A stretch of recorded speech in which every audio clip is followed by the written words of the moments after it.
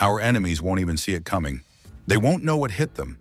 No aircraft produced by any other nation will ever, ever match the level of the one we've built. We are gaining a power and maneuverability the world has never seen before. Congratulations to us on our sixth-generation aircraft. In fact, we've secretly been flying a prototype of this aircraft for the past five years. These bold words, spoken by President Trump, echoed through the Oval Office and reverberated around the world just a few days ago. Naturally, they sparked global curiosity about America's mysterious new aircraft, the F-47, and the new era it might usher in. If what President Trump claims is true, and no other nation can even come close to matching it, then we could be standing at the threshold of a drastically reshaped global power balance over the next 20 years and beyond. Right now, the world is still largely focused on fifth-generation fighter jets. Turkey has directed its efforts toward the National Combat Aircraft Project, KAAN, developed entirely with domestic resources. The U.S. has deployed the F-22 Raptor and the F-35, though the F-35 has been plagued by ongoing issues. Russia introduced the Su-57 to its skies, but complications, including the Ukraine conflict, have hindered its progress. China's J-20 has entered the arena, yet hasn't fully lived up to expectations, especially concerning engine performance. The fifth-generation fighter market remains chaotic and unstable. It's within this context that the U.S. made a striking announcement. A highly critical tender had been finalized. Out of two fierce competitors vying for the next generation Air Dominance, or NGAD project, Boeing emerged victorious, winning the right to build this multi-billion dollar new fighter jet. At the announcement event in the Oval Office, President Trump claimed that the aircraft was unlike anything ever seen before. He emphasized its engine power and maneuverability, suggesting that no other country could match it for a long time. According to him, America's enemies wouldn't see it, or even understand what hit them. This wasn't just a military statement, it was a declaration. The United States is entering a new chapter in aviation history, one that places it far ahead of its global rivals. Now, Boeing may have won the contract, but to fully appreciate how we got here, we need to rewind and examine how the U.S. has historically laid the groundwork for its next-generation fighter jets. In aviation, the letter X often stands for experimental. In mathematics, X represents the unknown. When you see an X in an aircraft's name, it typically indicates secrecy and testing. Whenever the U.S. sets out to acquire a new fighter jet, the process begins with meticulous planning. Requirements are defined, risks are analyzed, and manufacturers are asked to create prototypes for evaluation. Only the top companies usually make it to the final round, and the government helps fund the prototype phase.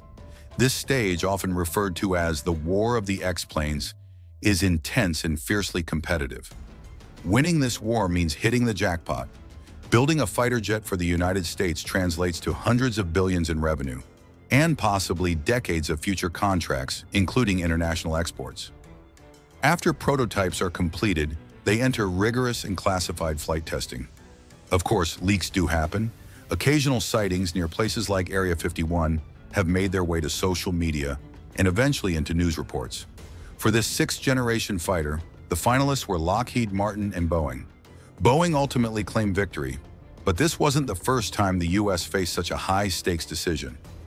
Back in the 1990s, there was another major contest, this time for a fifth-generation fighter. The competitors were the YF-22, developed by Lockheed Martin with Boeing and General Electric, and the YF-23, built by Northrop in partnership with McDonnell Douglas. While the YF-23 had better stealth and speed, the YF-22 offered superior maneuverability. The U.S. military chose maneuverability, and the YF-22 later developed into the F-22 Raptor, won. The stakes were so high that losing meant potential collapse. Northrop ended up merging with Grumman, and McDonnell Douglas was absorbed by Boeing, losing its brand identity in the process. This past full of ambition and consequences foreshadows the importance of today's NGAD project. The Next Generation Air Dominance program aims to revolutionize propulsion technology. The centerpiece is the adaptive cycle jet engine. Unlike traditional engines, adaptive cycle systems can shift modes for high efficiency or high performance as needed. In air combat, speed is crucial, but it often comes at the cost of fuel efficiency. This new engine technology promises both explosive power when needed and fuel economy when cruising. The F-47 is expected to hit speeds more than twice the speed of sound, something current fifth-generation jets struggle with. But power isn't the only upgrade. Sixth-generation jets will also feature highly advanced radar systems, cutting-edge sensors, and AI-driven automation. Artificial intelligence will play a much bigger role than ever before, helping pilots process data, make decisions, and manage combat scenarios faster and more effectively. One groundbreaking shift is how these jets will work alongside unmanned aerial systems. Picture a manned sixth-generation jet at the center of a swarm of drones, each feeding live data to the pilot, who can then command missile launches, designate targets, or order kamikaze attacks from unmanned allies. The vision is clear. Coordination, adaptability, and survival, not just for the aircraft, but for the pilot at its controls. Interestingly, Turkey is working on a similar approach, integrating its manned Kaan fighter with unmanned platforms like Kızılelma, Akıncı, and Anka 3. This signals a global trend toward combining manned and unmanned systems in modern aerial warfare. Returning to the F-47, the Oval Office meeting didn't just announce Boeing's win, it also revealed something astonishing. The prototypes had already been flying for five years. How could that have been kept under wraps in a world blanketed by satellite surveillance? According to later leaks, one prototype flew for the first time in 2019, the other in 2022. Given that the contracts were signed back in 2014, the U.S. has made significant progress under the radar. Around the end of 2024, reports surfaced from China about an unidentified aircraft spotted during a brief test flight. While no official details were released, many believed it to be China's own sixth-generation prototype. America's revelation, we've been flying ours for five years, was interpreted as a direct message to China. We got there first. But Boeing's journey to this moment was far from easy. The company had been facing severe difficulties in its commercial aviation sector. Safety scandals, plummeting stock prices, and employee protests painted a grim picture. Lawsuits and financial losses piled up. Against this backdrop, Boeing took an enormous gamble. It pursued a white sheet design, building a completely new aircraft from scratch. The last fighter Boeing had produced was the F-15X, itself based on the legacy F-15 designed by McDonnell Douglas. During the Oval Office presentation, a blurred image was shown, supposedly of the F-47. Though details were unclear, observers noted some key features. One was the presence of canards, small forward wings that boost agility but increase radar visibility. Their inclusion suggests that Boeing prioritized maneuverability. Meanwhile, the wide nose likely houses a powerful, advanced radar system, while none of this is confirmed, these observations help paint a rough picture of what the F-47 might be. For Boeing, this project is a matter of survival. The company has reportedly spent nearly $8 billion on F-47 development, and it's constructing a massive new production facility, over 100,000 square meters in size, at an additional cost of $2 billion.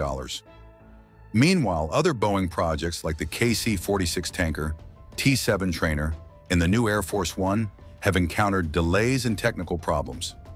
The fixed-price contracts on these programs have already cost the company more than $10 billion. In this context, the F-47 isn't just another fighter jet, it's Boeing's lifeline. Interestingly, the cost per unit of the F-47 remains a closely guarded secret. After missteps with the F-22 and F-35 programs, where costs ballooned to over $350 million per aircraft and production goals had to be slashed, the U.S. is treading more carefully. While no official numbers have been released, some American media speculate that each F-47 may cost around $300 million. Time will tell.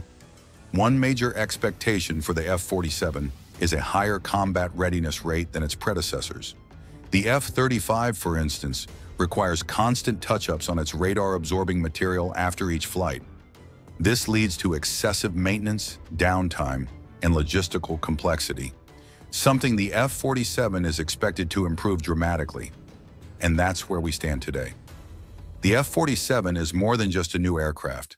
It's a symbol of technological ambition, geopolitical dominance, and industrial resilience. Whether it truly lives up to the hype remains to be seen. But one thing is certain, the future of aerial warfare is already flying above us. We just might not see it yet.